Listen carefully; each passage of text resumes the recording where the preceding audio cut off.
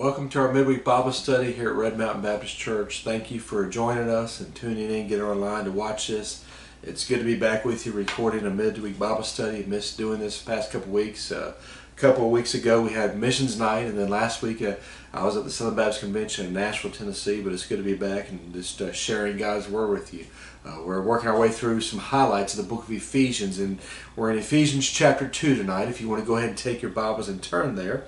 As we begin our time together, I just want to remind you and encourage you to continue praying for revival in the Church of America. And we need God to do a mighty work in our midst to raise up His people to, to be out there sharing the gospel of Jesus Christ, be living for the Lord. And I pray that you're doing that this week and asking God to bring revival on a daily basis and therefore bring a spiritual awakening to this nation, that we'll see a great harvest of souls and people will come to saving knowledge of Jesus Christ and lives will be changed for all eternity and this uh, God will just use us and give us a passion, burn in our hearts a passion to be reaching the lost people with the gospel of Jesus Christ. And, and we're actually talking about that tonight, talking about the greatest story of all.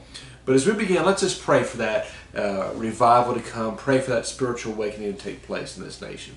Father, we thank you for what you have done in our lives that are Christian, Lord, and we thank you for our salvation. And Father, we just pray that you raise up your church and bring revival to your people, Father to be a beacon of hope, to be a beacon of light in this very dark, sin filled world. So many people are lost, Father. So many people need salvation, Father. And Father, forgive us for not being passionate about sharing the gospel. May you burn our hearts a desire, a passion to reach the lost people in our families, in our neighborhoods, in our schools, in our places of work, in our community, to reach them with the gospel of Jesus Christ, Father. Father, we just pray that you just draw us closer to you, make us more Christ-like each and every day, and do a mighty work in our life to bring glory and honor to you and to reach this world with the gospel, Father. And therefore we pray for a great spiritual awakening in this nation. We'll see a great harvest of souls, Father. So many people are lost. So many people, if they would die right now, would go spend an eternity in hell because they don't know Jesus, Lord and Savior. And Father, we just pray that you just will draw them to you seeking salvation. Use us to take the gospel to them, Father, so they can experience life as we're talking about that very thing tonight, Lord. And Lord, I just pray for a great spiritual awakening in this nation like we've never seen before. And we ask this in your name, Lord Jesus. Amen.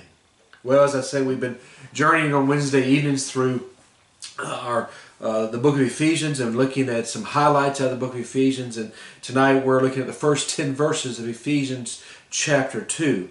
You know, one of the most famous set of verses in the Bible is found here in Ephesians chapter 2, and it's verses 8 and 9. And if you look, you see what it says For by grace you have been saved through faith, and that not of yourselves, it is the gift of God, not of works, lest anyone should boast. I don't know about you, but I remember I memorized those two verses many years ago when I was a young teenager as we were getting ready for a mission trip and we had to learn to, to share our faith. And, and uh, a lot of new Christians memorize those two verses because it tells us about our salvation. It tells us that it's, it's by God's grace. It's, it's by putting faith in Him. It's not by anything we can do, but simply what God has done for us. But, but really what comes before those two verses and what comes after those two verses is not as well known as those two verses. And yet we truly can appreciate the great news of the gospel. We can't really understand the, the, the whole narrative of the Bible even, or can't even understand who, re- who we really are and, and who we can be and who we need to become until we understand the full story. And that's those verses that are around verses 8 and 9.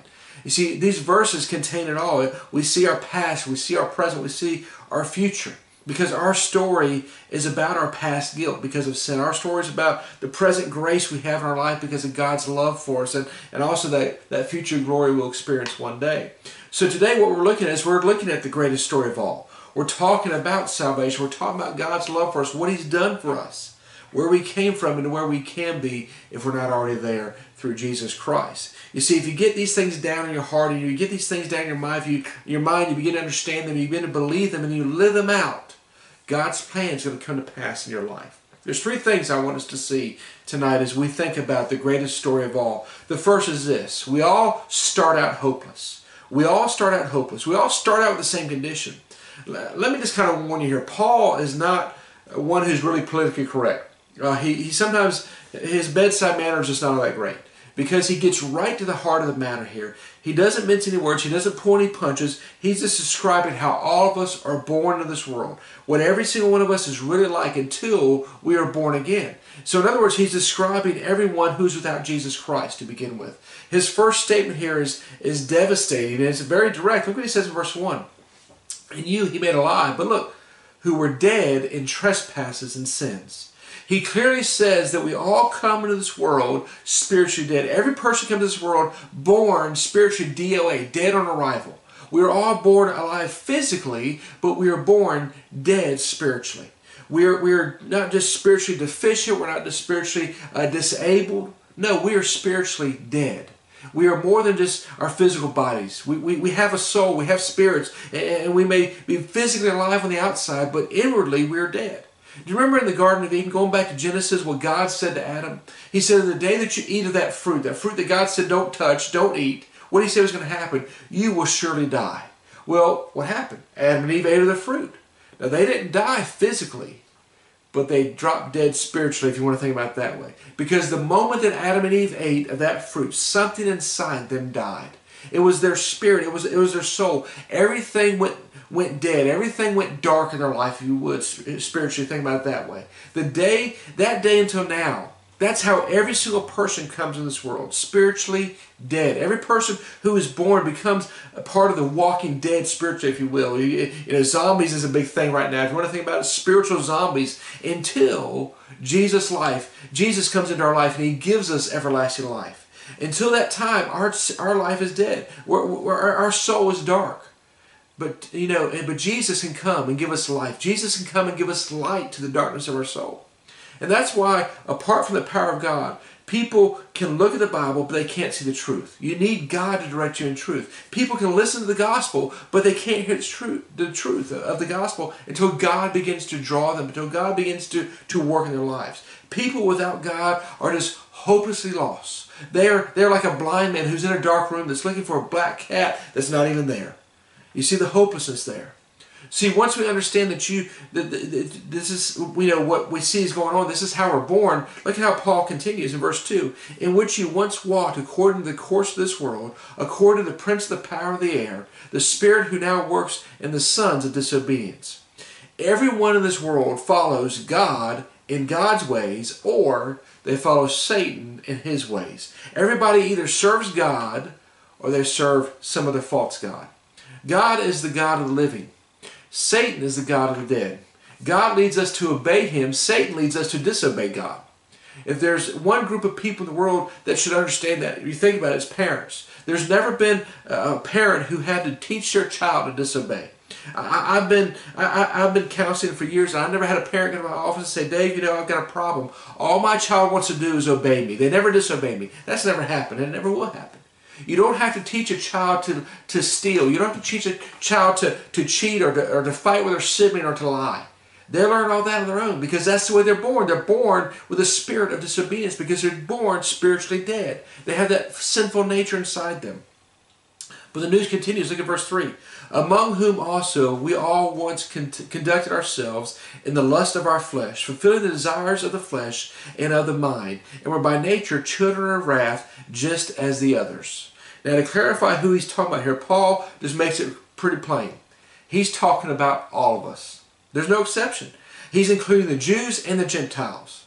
He's not just talking about murderers. He's not just talking about those terrorists out there. He's not just talking about child abusers or rapists. He's talking about people who obey the law. He's talking about people who disobey the law. He's talking about people who are capitalists. He's talking about people who are socialists. He's talking about liberals. He's talking about conservatives. He's talking about whether you're a Democrat or Republican or independent. He's talking about people if you're if you're gay or you're straight. He's talking about people who are born rich or born in poverty. You get the picture? He's talking about everybody. The best of us and the worst of us. He's included everybody in this. And this is why, before we can ever understand who Jesus is and what he's done for us, we must first understand who we are and what we have done. Paul was talking to both those who believe in Christ and those who don't. One thing is true of you right now. Either you are spiritually dead or you were spiritually dead. These verses either are talking about your past or they're talking about your present. Because we're all born the same way, and we all stay that way spiritually dead until we trust Jesus Christ as Lord and Savior. Now that's the next thing I want you to see. You see, we're born this way and we're hopeless. But the second thing I want you to see is this. Notice God's love is extraordinary. Yes, we are born dead. We are all born that, in that hopeless state.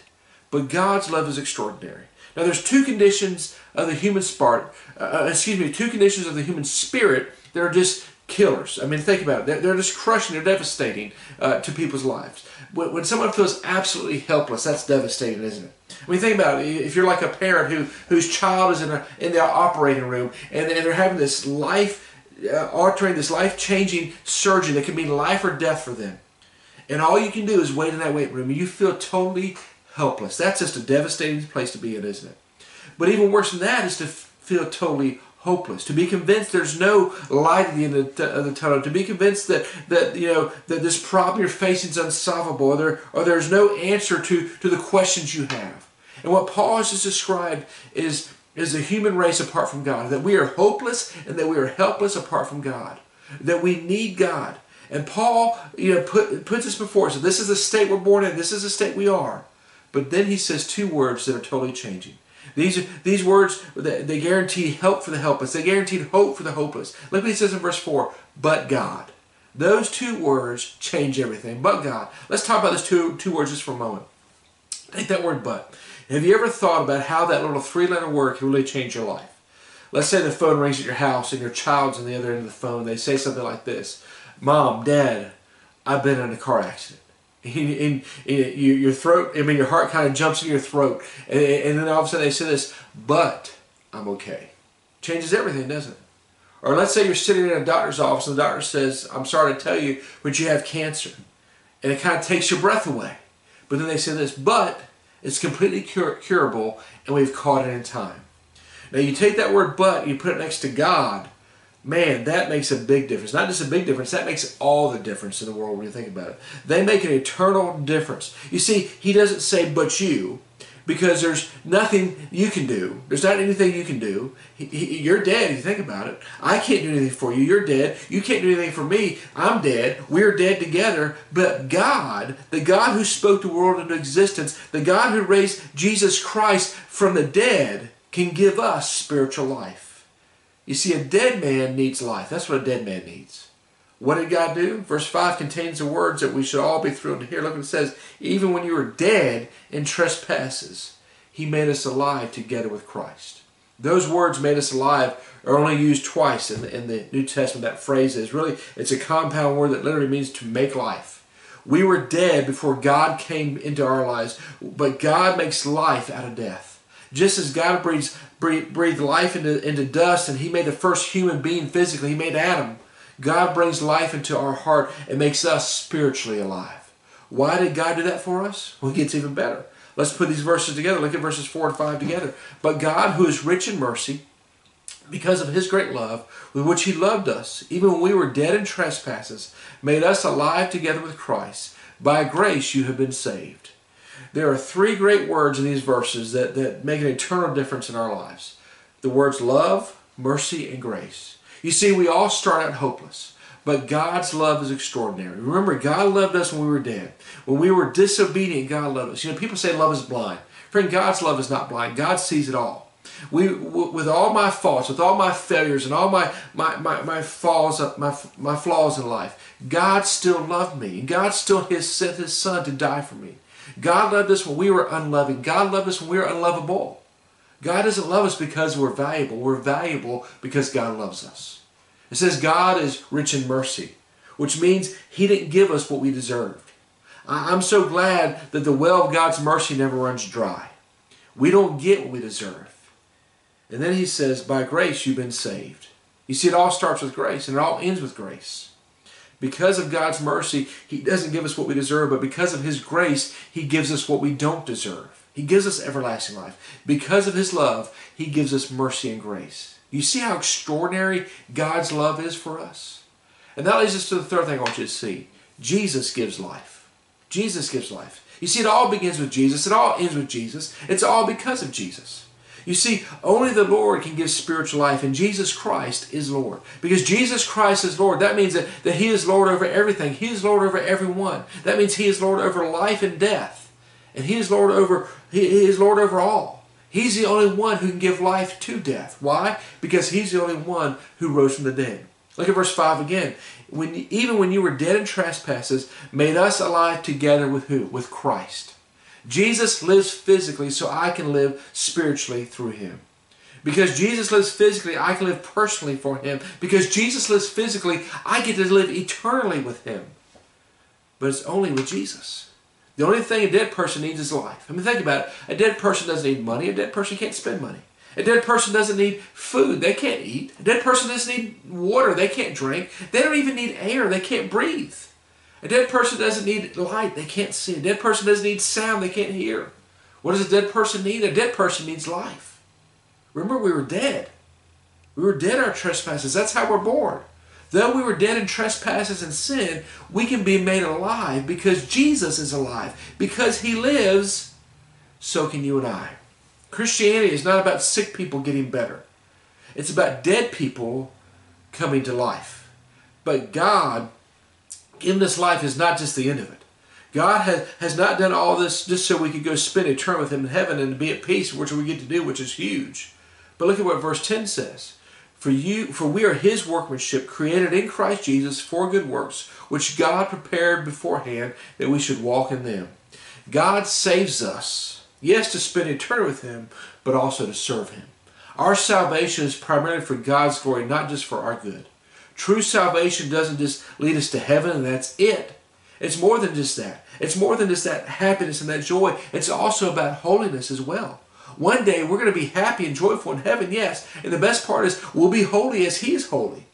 But right now on this earth, right now where we are today, we are to live out that holiness. And we do it by, by living for Him. We do it by, by doing good for other people, by serving the needs of others, by doing good works for God. Mount Whitney out in California is the highest spot in the continental United States. It stands at 14,495 feet. If you hike to the top of that mountain, you'll be surrounded by crystal air and cool breezes. You'll see beautiful lakes. And if you look 80 miles southeast, you'll see Death Valley, the lowest spot in the continental United States. It's 280 feet below sea level. It's also one of the hottest places in the country. It can reach 134 degrees in the shade.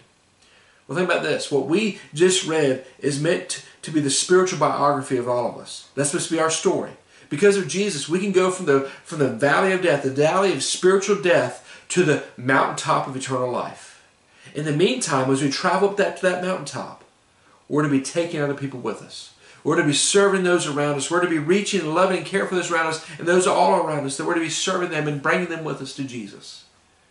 Heard about some fishermen one time and coming from fishing and, and they're relaxing in a dining room at a Scottish inn there by the sea and they're sharing their fish stories. You know how fishermen can be, the, the fish gets bigger and bigger and bigger.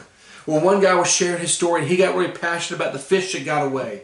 And he threw his arms out to show how big it was. And the waitress was walking by and he hit her tray and had a tea kettle in there. And that tea kettle flew against the white wall. And that tea splashed against that white wall and it stained that white wall just this ugly stain of brown. Well, the innkeeper came out, he looked at that wall, he said, well, I guess that whole wall is going to be painted now.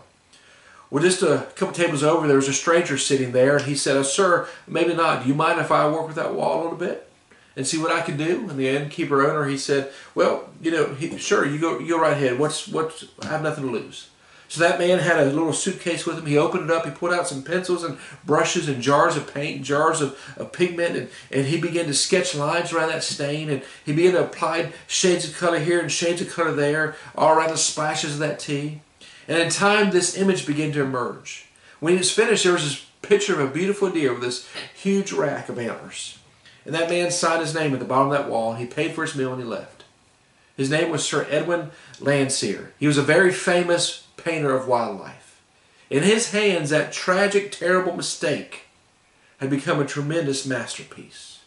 Think about this. We were all born covered with the stain of sin.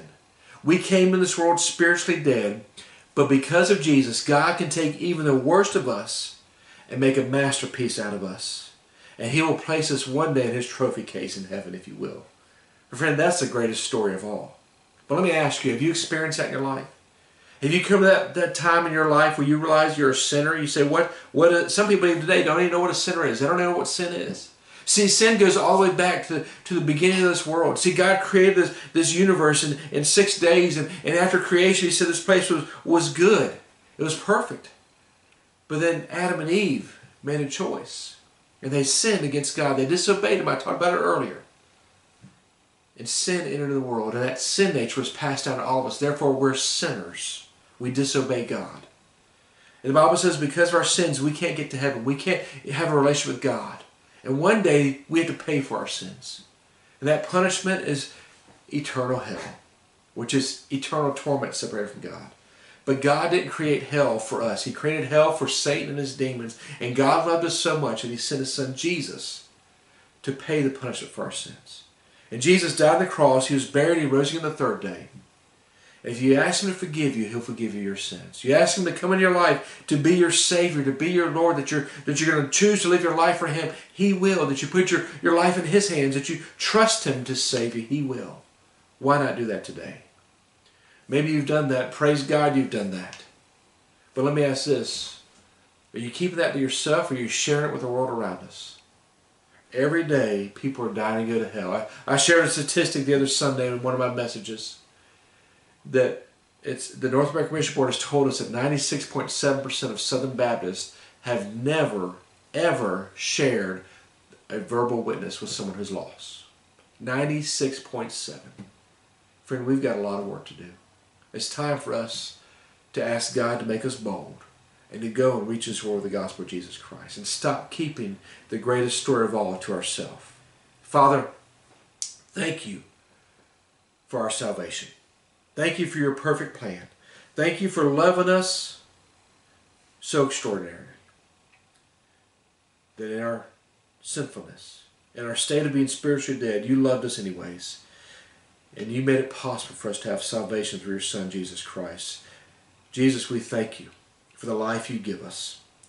And I pray for anybody who's watching this who doesn't, who hasn't experienced that gift of salvation, that they today will ask forgiveness of their sins. And they will put their trust and faith in you, Jesus, to be their Savior and to be their Lord. And they'll receive that gift of everlasting life. Father, I pray for us Christians we've done that. And I pray that we will not keep that to ourselves. That we will be out there sharing the good news of Jesus Christ. The greatest story of all with this world around us. Use us this week to reach people with the gospel, with the love of God. We ask this here in the name of Lord Jesus. Amen. Thank you for watching. And uh, I'm just so thankful for you to tune in. And if we can ever do anything for you, serve, serve you anyway, pray for you. If you want to talk about salvation, at the end of this video, you'll see our phone number, you'll see our website. Please contact us. We'd love to connect with you and talk with you about Jesus Christ and our great God.